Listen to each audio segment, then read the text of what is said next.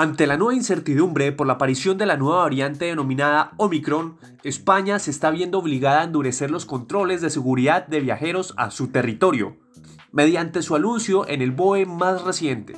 Por ello, muchos pasajeros provenientes de América Latina están preocupados por su llegada a España, pues hay rumores sobre posibles cierres de fronteras al país.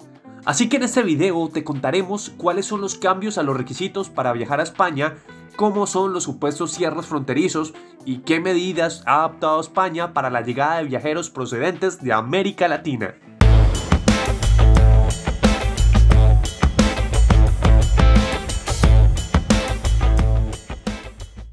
¿Qué nuevas medidas ha tomado España para recibir viajeros? En el BOE se publican las modificaciones a las disposiciones de recomendación establecidas por el Consejo de la Unión Europea sobre las restricciones temporales de los viajeros no esenciales al espacio Schengen y el posible levantamiento de dicha restricción. Señalan que cuando la situación epidemiológica de un tercer país o región empeore rápidamente y en particular cuando se haya detectado una variante preocupante o varias variantes de interés, los Estados miembros aplicarán medidas excepcionales estas pueden incluir la limitación temporal de los desplazamientos de los viajeros, la realización de pruebas antes de la salida o el autoaislamiento o cuarentena, incluso si se ha recibido una pauta de vacunación completa.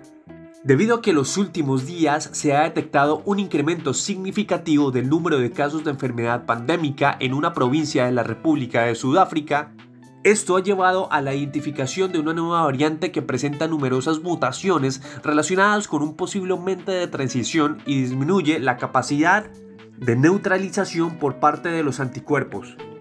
Esta nueva variante se ha denominado B11529 y se encuentra en investigación por parte de la Organización Mundial de la Salud, quien la ha llamado Omicron. Igualmente, a estos pasajeros provenientes de países de alto riesgo, independientemente de su estado de vacunación o de haber pasado la enfermedad, se les exigirá un certificado diagnóstico de infección activa con resultado negativa realizada a 72 horas o test rápido de antígenos de 48 horas antes de su llegada a España. Los certificados deberán estar redactados en español, inglés, francés o alemán, en el caso de no estar en ninguno de estos idiomas, deberá ser traducido al español por un organismo oficial. En el momento de completar el formulario de control sanitario, deberán introducir los datos que allí solicitan para que les genere el código QR con la denominación documental control. Y deberá estar acompañado por la correspondiente certificación sanitaria y en los controles solicitarán el documento de identidad del viajero para evitar fraudes. Al listado de países de alto riesgo han sido incluidos siete países del sur de África, los cuales son los siguientes. Botsuana, Suazilandia, Lesoto, Mozambique, Namibia, Sudáfrica y Zimbabue. Puede corroborarse los criterios de inclusión o exclusión en la lista de países de riesgo o alto riesgo en la página oficial del Ministerio de Sanidad. Esta es la que estás viendo en pantalla en estos momentos o en la web de España que también está en estos momentos en pantalla. Y debe tenerse en cuenta que estas listas las revisarán cada 7 días. Es por eso que los países miembros del estado Schengen han decidido el pasado viernes cerrar fronteras para la entrada de los viajeros no esenciales procedentes de esos países catalogados de alto riesgo.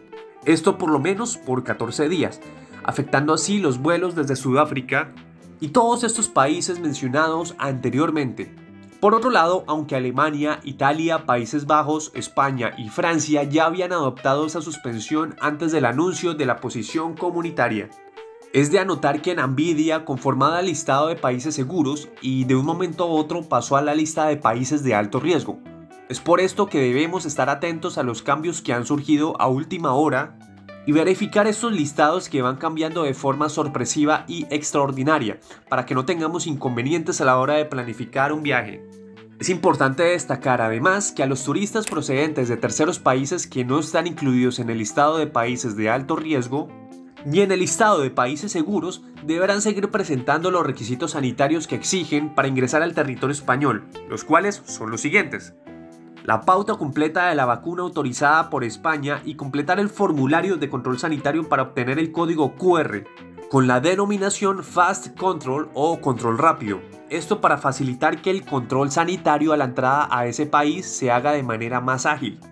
Por otra parte, recordemos que en el caso de América Latina, la lista de países catalogados como seguros para viajar como turistas a España son los siguientes. Argentina, Chile, Colombia, Perú y Uruguay.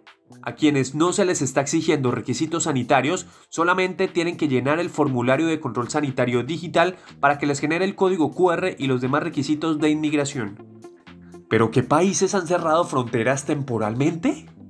Israel por su parte, tras un año de cierre de fronteras, hacía un mes que había autorizado el ingreso de vuelos de todo el mundo a su territorio. Pero debido al comportamiento del Omicron, nuevamente cierra totalmente sus fronteras por dos semanas a partir del 28 de noviembre, los cuales pueden ser prorrogables dependiendo del comportamiento de los contagios por el virus. Igualmente, Marruecos ha cerrado sus fronteras a partir del 29 de noviembre y por 14 días con opción de prórroga según el avance de los controles sanitarios. De este modo, se ha visto afectado el turismo procedente de España, especialmente que para estas fechas se celebra el Día de su Constitución y que junto con la fiesta religiosa de la Inmaculada Concepción, muchos de sus nacionalidades acostumbran viajar a este hermoso país en plan de descanso durante el puente festivo. Como medida de prevención del gobierno marroquí, ha anunciado que prohíbe todos los festivales y eventos culturales y artísticos para controlar la propagación del virus. Asimismo, Japón ha tomado la decisión de cerrar sus fronteras a partir del 30 de noviembre y hasta el 15 de diciembre con las mismas disposiciones que se prorrogan o no, dependiendo de cómo se vayan desarrollando los acontecimientos de la pandemia. Por otro lado, en el caso de Austria, aunque no ha cerrado sus fronteras hasta el momento, el gobierno se ha visto en la necesidad de volver a confinar a la población e incluso impuesto obligatoriamente la vacuna a todos los habitantes a partir de febrero de 2022. Esto debido a la baja tasa de vacunación y la alta incidencia de contagios en su población.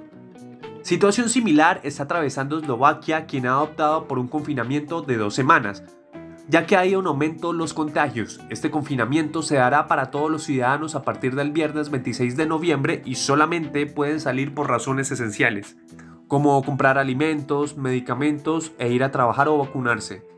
Por su parte, Italia está impulsando programas de vacunación y está presionando a la población a tomar conciencia para que se inmunicen.